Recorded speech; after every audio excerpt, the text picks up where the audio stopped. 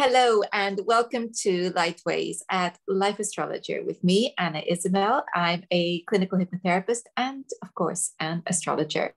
And I'm delighted to have Elisabeth Brooke, who seems to me to be a rather rare breed, an astrologer, herbalist. Welcome, Elisabeth. Thank you for having me. I have to say that the excitement of receiving a book through my letterbox never goes away. However, there are times when my heart does beat that little bit faster. Um, and the rece- receiving your book was one of those moments. And it is called Traditional Western Herbal Medicine. And here it is. And I it did not disappoint um, by any stretch of the imagination. The beginning, of course, as above, so below, as within, so without, as the universe, so the soul uh, drew me in. And then, to my utter delight, two quotes from Culpeper.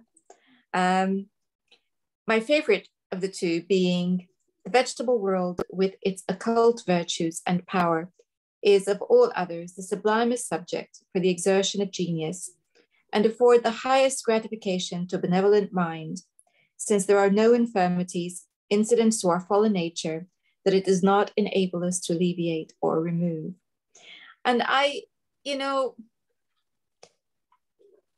it's that gentle world of a holistic approach where there is something that's very linked with divinity and something greater than us. Yeah. That's to me when I read that quote. Um, so it would be good to hear your take on this. Well, Culpeper, of course, was writing in the 17th century, so that world had not disappeared. We hadn't had Paracelsus and the I think, therefore I am of Descartes. So it was a magical universe, and they believed that the planets, it was a common belief that the planets and comets and eclipses affected people emotionally, physically, and spiritually. It was a commonplace. The thing I love about Culpeper is he was also radical. He was on the parliamentary side. He was on the side against um, the king and against the corruption of the court. He treated the poor and the rich alike. He believed in collecting your remedy from your surroundings, not to import fantastical remedies from overseas because, of course, uh, at that time, Britain was busy conquering the world and bringing all the things back into London. But he said, no, you should pick your medicines around you. You should pick them in sympathy with the day, the planets, the moon. And he said, you should be in that harmony with the natural world and the world of astrology. And it is the high point, really, of astrology and medicine in the 17th century. It makes complete sense to me that we would choose to use herbs that are at hand. Not only is it less costly, and in these days where we're thinking about carbon footprints, it would be nice to practice what we preach very simply by doing exactly that. But apart from any of those reasons, for me, you know, when it comes to food, we're we're told fresh is best, and that the the nutrients of a plant are at their richest just after they are picked. So it makes sense to me that he would be saying, well, it's look around you and pick what's available to you. And also, you know, England is an incredibly fertile country. I was there in in the countryside on Sunday, and it's extraordinary. It grows by the roadsides, the trees, the plants, the flowers, the fungi, massively fertile country. So there's no reason on earth to import stuff. And I think what's very important nowadays is that we've become separated from nature. If you could start to collect your your remedies, if you wildcraft your remedies, if you walk on the little lanes and byways and through the meadows and the forests and the woods and the seashores, you're connecting with the heart of the country, the soul of the country. And this is a very ancient country, got huge tradition, and it feels like from my with my herbalist hat on, people were very ashamed of our pagan tradition when I trained as a herbalist, which was quite a long time ago. But very important, I think, to situate yourself where you are. And there's also politics there. There's a there's also the thing about not taking over other people's cultures and other people's spiritual practices. So we have one. Culpeper is our spiritual practice for England and probably for Europe. So we should respect that. And it's an absolute glory as a herbalist to go out on a summer's day with a big basket and wander through meadows. I mean, what is better? It's absolutely gorgeous. And you can develop a relationship with the plants. Absolutely. Well, two weeks ago, and I shall be going there this week with um, with some uh, paper bags to collect them, to collect some of them at least. Um, on a walk with my dog and some friends, I could smell I could smell chamomile. Yeah. And I, I thought, and nobody else, of course, was aware that this was a smell that was there or that because sometimes until you know it it you might not pick it up unless somebody says to you can you smell that? Because yes, it's absolutely. warm but kind of delicate scent isn't it? But i could smell it and sure enough um, along the path there was chamomile and i thought it was a small bank. Oh no. There it lined the entire path and the flowers had yet to open. So I'm hoping they've now opened.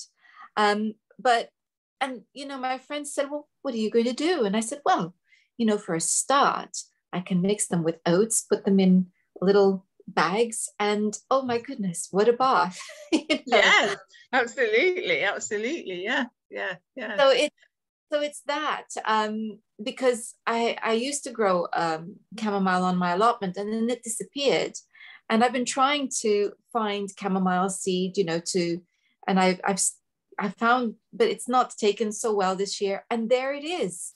And I thought, oh, how wonderful. So you're right. It is certainly, um, there's a wealth of uh, plant friends with us. And coming back to the astrology side of it and the combination of the two, um, one of the things I really liked about your book is that you've got you've divided it into two parts. There's um, theory, and then there's practice, and I I appreciate that because there's a whole context of explanation, and so perhaps you could explain more about maybe the the theoretical part Okay. And I, I, would say that I've been a herbalist for 40 years. So this is clinical practice. I'm Taurus rising. It's no good if it doesn't work. I've got a Libra moon. So I love systems. I love theories. I love to go flying into large places in my brain. But honestly, if it doesn't work, if it's not helpful, what use is it? So when I discovered this method, I immediately started using it in my clinical practice. So that's where it comes from. Um, and basically, we start with the four elements, which were discussed in ancient Greece. And it was interesting that on Kos, the island of Kos, there was a medical school where Hippocrates practiced, and there was an astrology school. They were really close together. Um, anyway, we start with the four elements earth, air, fire, and water. And from the four elements, you get the four temperaments, which are choleric, which is fire, excuse me, choleric, which is fire, uh, sanguine, which is air. just take some water. Melancholic, which is earth, and phlegmatic, which is water. Um, and then you, from that, you describe various systems of the body. You describe foods that they need to eat. You describe their emotional states. You describe sleep, rest, and of course, then you have the planet. And they're sl slightly different than the planets you get in modern astrology. For example, the melancholic um, temperament, which is earth, is ruled by Saturn, which makes sense, but also Mercury. And people find that quite hard because Mercury seems quite airy. But of course, Mercury also rules Virgo, which is very earthy. Anyway, so the planets are, uh, the plants are ruled by the planets. So um, Saturnine herbs, comfrey, classic one. What the Saturn, what Saturn does in the body is it rules the bones, and the solid structures of the body. And what does comfrey do? It works on the bones and the solid structures of the body, but also on another level, because I also work with plants from an emotional level. What does Saturn do? It grounds you, it calms you down, and it grounds you. So that's a really good herb if you're going off in your head and you need to be grounded, calmed down, solidified, protected, and so on. So, or all the herbs that Culpeper used, which are all the herbs that he picked in his environment, are ruled by various planets. And generally speaking, I agree with all his rulerships. There's a lot of um, medical astrology in America, where, particularly, where they're sort of adding things and, and changing it all around. And I feel like very um, cautious about doing that because I I found that Culpeper system worked really well in the clinical setting. So I didn't feel a need to change it and to put my imprint on it, except for one or two exceptions.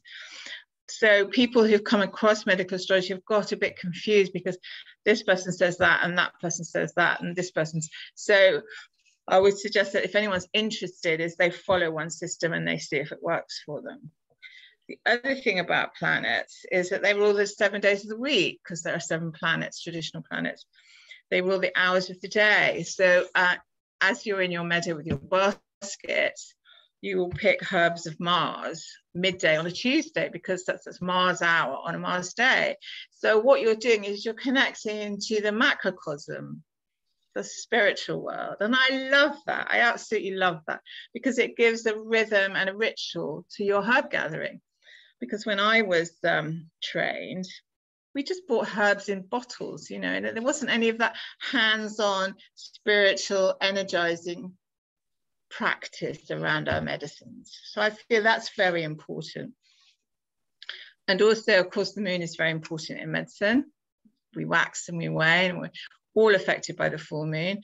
And for me, when I pick my medicines in that way, I also make my medicines at the full moon and I leave them for a lunar cycle and then press them out.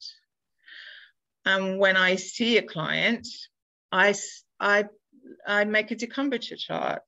I do not diagnose from the natal chart. I, that to me is a no no because we're all born with potential, I feel. What your, what your chart gives you is potential.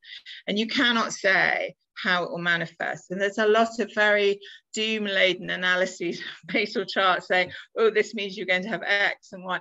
No, no, no, no, no. Uh, for example, I've got three planets in the sixth house, which is supposed to mean that you're going to have chronic ill health. I don't have chronic Ill, Ill health, I'm incredibly healthy, but I've worked with sick people all my life. That's the way it worked out. But you know, you could be very fatalistic. And I think it's it's important that you don't do that because in in the aboriginal culture they have a thing called pointing the bone where you say oh you're going to get this and it's like almost like putting a spell on someone. So i feel very very strongly that you shouldn't diagnose with a natal chart. So when i see a client i will draw up a decumbiture and what that gives me shows me the client shows me their condition and of course, because you're dealing with planets, you're not just dealing with the physical, you're dealing with the emotional, the mental, and the spiritual. You know, so if the illness is shown by Saturn, to go back to that, you know, it might be that you're overworking, which is very Saturnine. It might be you're depressed. It might be that you're suffering from conditions that are caused by poverty or religion. all sorts of layers. There are all sorts of layers. Anyway, so that shows your illness. And then it shows what they're looking for uh, in a practitioner. So it shows what they're looking for from me. And that's fantastic because sometimes people want sympathy, don't they? The moon or Venus. Sometimes people want hope. So I'm shown by Jupiter. Sometimes people want to be told what to do, which would be Saturn, or they just want to talk a lot Mercury, etc., etc. So I find that very helpful, and that's the seventh house of the decumbiture. And also the tenth house will show you the kind of remedy they want. From the decumbiture, you can also use timing measures with the phases of the moon, which is also very interesting. And particularly if you're doing a hands-on practice, it will show you the best times to book your appointments because you have crises days and those you know if you were doing something like massage or hypnotherapy or something those would be the day to see your clients um yes so that's what i do with um, clinical patients but also what you can do from the natal chart is to look at temperament and preventive medicine and as i've got older that's something i'm very interested in and in the second half of the book as you say there's a way you can calculate your temperament from the natal chart. And that's basically the ascendant, the moon, the season you were born in, and various other things. And that's really useful because that shows you how to stay healthy, which is really important. And it's something that's not talked about. We tend to do firefighting in medicine. And actually, it's really important, especially particularly as you get older, to work out how you stay healthy or if you've had a health scare and you want to not it for it not to recur because for example to go back to saturn and melancholy if you if you're a melancholic type as the name suggests you will be prone to depression you know you, are prone to low mood but some people say you know pessimists have a happier life because they're never disappointed you know so there's also that but what, what someone sh- a melancholic needs to do is to feel useful service is their thing. So you will ask people about that. What are you doing? Because there's a lot of um, illness that happens post retirement because people feel useless, and particularly for a melancholic type, what is your purpose? Then if you can't serve people you feel like you have no purpose. So for a melancholic you would suggest that they absolutely engage in their community. They get themselves an allotment or a garden. They go for walks. They get a dog. You know they do all these things that involve routine and ritual which um, melancholics love. And also that they feel that there's a purpose and that they can help people. And furthermore you would talk to them about diet so as a melancholic they haven't got very good digestions and they need to eat what I call peasant food, really simple food, no spices, not much oil, you know, soups and maybe some salads, but warm food like oats and that, those kind of things. And also not to overwork because that's a melancholic thing. They, they, they can get into overworking and then exhaust themselves. There's a whole variety of things you can do from that calculation because of course no one diet suits everybody. No one kind of life suits anyone. So for example if you were um, phlegmatic phlegmatics who are watery love to sleep. They love to sleep. They love to float off. They love to eat. They hate exercise and they're quite chilly. What you need as a, as a phlegmatic is a bit of ginger, exercise, even in some form or other that they can find that's um, acceptable to them. Dancing is a good one because that's quite, you know, it's sort of beautiful, but it is an exercise. And encourage them not to eat cold food. So phlegmatics should not eat salads, for example. We're all told to eat salads, but no, they need warming foods. Whereas a choleric fire person, loves all the spicy food and the curries and doesn't sleep very much and is very overactive, they need the opposite kind of, they need to calm down, to cool down, and to take remedies which ground them a bit and slow them down. Not that they listen.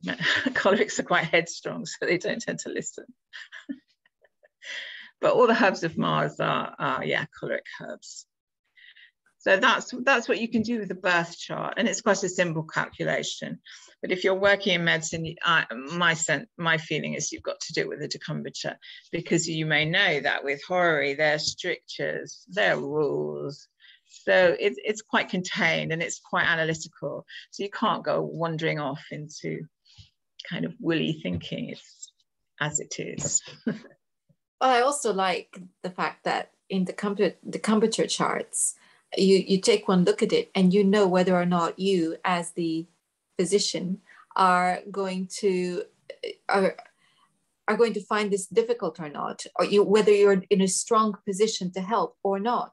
So Absolutely. what's do you when you when you see that and you think, hmm, uh oh, I, I could be in trouble here. Well, I think manage expectations and also you know be humble. Think well maybe there's a better practitioner for them. That's okay. That's okay. But they have come to you so you don't just send them away. But you talk about it and you you might think as you go through their case history that something else would be more appropriate. Um yeah so you'd have to be a bit skillful there i think because nobody wants to be told nobody wants to be sent away. That's really up, upsetting to people.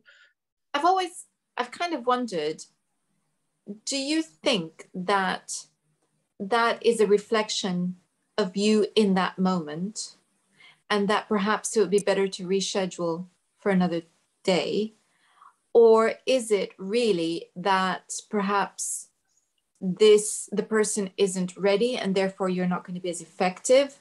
Or is it that perhaps you don't have enough uh, knowledge or skill to address the issues that are being presented could be a variety i do think there has to be a compatibility. I mean, there's no coincidence with the people you attract to you. As an astrologer or as a practitioner, you will attract people that are a mirror to you. And I'm sure you've had that experience where you're going through something in your private life and whoa, they all come and present this to you. So, you know, it's not a random process. So if someone comes to you and you're not sure you can help them, there is something for both of you to learn because it, you they might have come to you because someone recommended or they thought they wanted something that you offer, but it's not appropriate to them. Um, especially if there's a retrograde Mercury on the decumbiture. I, I still judge decumbitures on a retrograde Mercury, but I bear in mind that I do not know everything. Something will be revealed later, and that's what I bear in mind. Can't help everyone, you know. Sometimes you just have to know that. And you may also, I, have had those situations where you talk with someone, you think, I know exactly who you need to talk to, and it's not me. and so that's a, that's okay. And they will respect you if you explain why. Yes. But what I find really helpful is looking at the seventh house because that's the practitioner, is um, finding out what they want because um, I'm very optimistic positive person, but some people don't want that. They want the awful truth. the melancholics of this world. They want, you know, so I would be shown by Saturn. So I have to tell them what they've got to do. And I give them a list of very hard things to do, and they love it. Absolutely love being. And if you've got, if you're shown by Mars, or there's a lot of Mars in the chart, then you say, well, this is very difficult. I'm not sure you'll be able to do it. And you you get you engage their competitive spirit or you know you might be sympathetic and people just need to cry and that's fine too isn't it you know that's fine so i find that really exciting looking at who they want me to be i mean fundamentally obviously i'm my, myself but you know i can present in many ways and actually what we're talking about obviously is a very individualized way of practicing medicine and so I, there's this wonderful quote that um, from your book um, where you talk about self-selecting remedies that appeal to us. Um, and I, I think that's exactly what has been lost in what has become conventional medicine is that sense of individuality yeah. No client that comes to me is identical to another. And I am always me, but my approach can only ever be a response to the person sitting in front of me. Because otherwise, there is no rapport, there is no connection, there is no healing. And, and that is evident. So I really, I love that even in selecting the herbs that would be appropriate for an individual, it is for that individual. Yes. absolutely absolutely and and yes there's no one size that fits all for herbal medicine absolutely not or any other kind of medicine no. You treat the individual because what you're doing as a herbalist is you're strengthening their vital spirit and the vital spirit in western traditional medicine is like chi or prana in other systems. It's like the energy that you have. And what you want to do is, is to build that energy up so people are able to heal themselves which is ultimately what happens in good medicine. And that is absolutely a personal thing absolutely. I quite often get my clients especially i'm working with preventive medicine to grow their plants. Say well okay get a melissa plant get some lavender talk to it you know have a bath have a tea but you know so you have to develop a real relationship. And what that does is it empowers them because the other thing about um, chemical medicine is that you're disempowered. You're just given something. You don't really know what it is. You cannot even pronounce it. And you just take it. Whereas i think we need to be empowered and take charge of our health. And that way we stay healthy and we're not dependent. I couldn't uh, agree more. Um, it is one of the well known, there are some very well known um, preconditions for healing. Number one, the therapeutic relationship is key. Actually, even before that, motivation to heal and change yes is number one. Um, and that's mm. that we kind of think, well, you go and see a doctor, obviously you want to get better. But what you want is you want the symptoms to go away. And we're talking about healing at a deeper level that understands that this that the symptoms are symptoms. They are not necessarily yes. the, the the cause and and so okay we say well the symptoms um, are the let's say the, the trigger for a diagnosis the diagnosis of the illness. But where we get lost is thinking that the illness is the thing and it's mm-hmm. it's not the thing. The illness too is a symptom of something deeper. And so that requires the individual to be willing to consider change. So, for proper healing, that is number one. And number two, of course, is the therapeutic relationship. Um, you have to feel that the practitioner in front of you, whatever discipline that might be, actually has empathy for you, is connecting with you as an individual, wants to hear your story, wants to mm-hmm. understand what you're saying and because that's about trust. Yes it is. If you have that then it's much more likely that you're going to consider engaging with the process. And that is where the empowerment comes in is somebody saying to, to you do you know what? Let's think about this. Let's think about it from a physical and an emotional perspective. And and here's what you can do to help you with the physical and perhaps we can talk a little bit about what to do about the emotional. Yes. And that's a good start then towards healing. And that's why I love this approach because it's offering possibilities and it's teaching the person self-care you know as a as a, a therapist myself what i want is i want people to go away and feel empowered and feel like they are learning something about themselves that they are able to heal because very often when when i see them many have completely lost hope of the pros- possibility that anyone is going to be able to, to help them or heal them.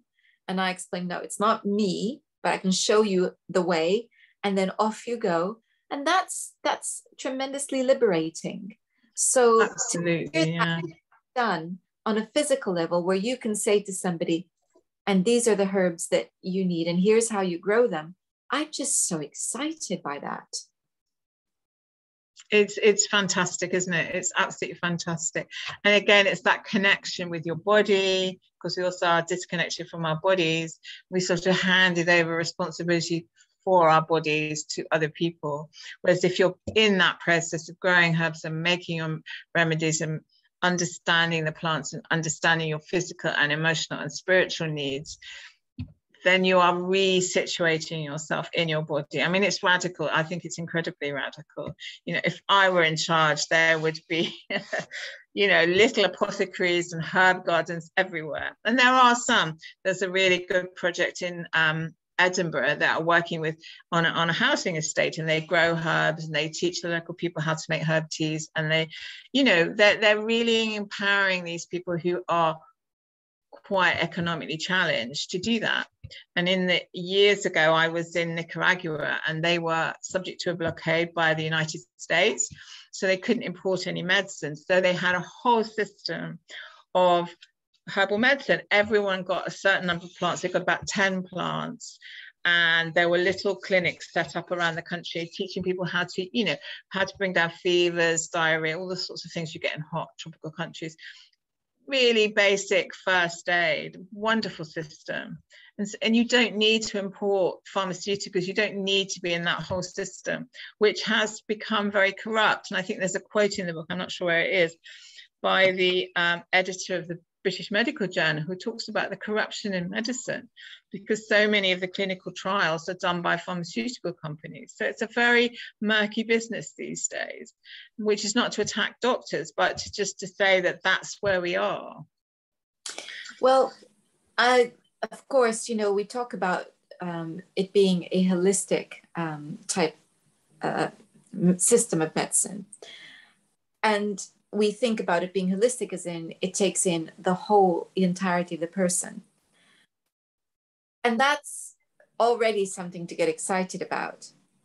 But i think when i use the word holistic in this context for me it's holistic not just because of that but because you were talking about the reconnection to the body but it goes beyond because you're reconnecting to nature. And because we're astrology as well, then you're connecting to something even bigger. And yeah, so yeah. It, it's everything. You're connecting with everything. You're connecting with your body. You're connecting with your with um, Mother Earth. You're connecting with the sky. You're connecting with everything that is that is about life, and that is why when this came through my letterbox and I opened it, my heart just beat that little bit faster.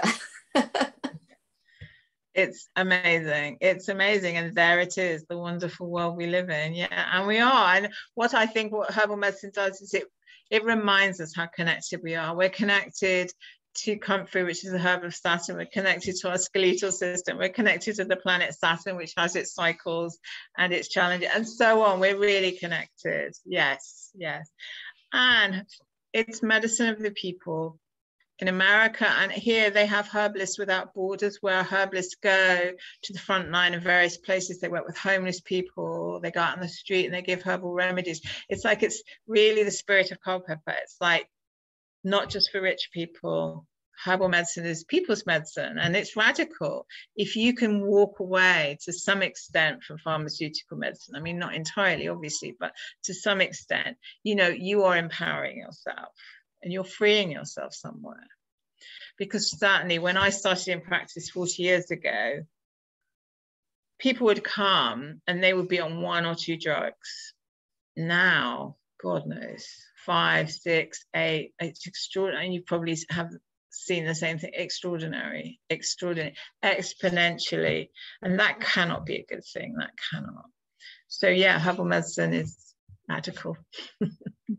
well, radical or not i and i was talking about how it connects us to everything and of course you were talking about the phases of the moon and there's the seasons as well um, mm-hmm. that we're very connected with not just because of when plants will give us what but also just um, you, you, talk about the way that the seasons affect health um, so everything is in there and and you were talking about Nicholas Culpeper who um, whose book sits um, always at hand. It's not on a shelf. It's there um, for me to to still look things up.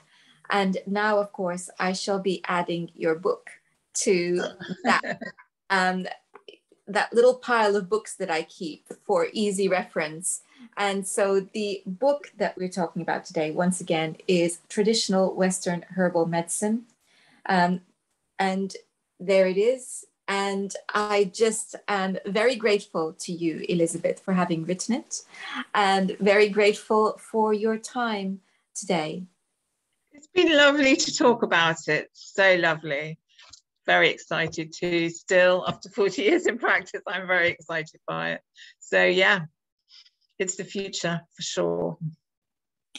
Well, thank you all for watching. I will be putting a link to Elisabeth's book in the uh, description box. And Elisabeth, if people wanted to find out more about you and, and what you do, how do they do that?